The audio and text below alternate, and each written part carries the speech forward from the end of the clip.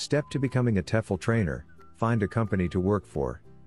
Not many TEFL teacher training positions are widely advertised, and that's probably because most people who land one of these roles don't give them up easily.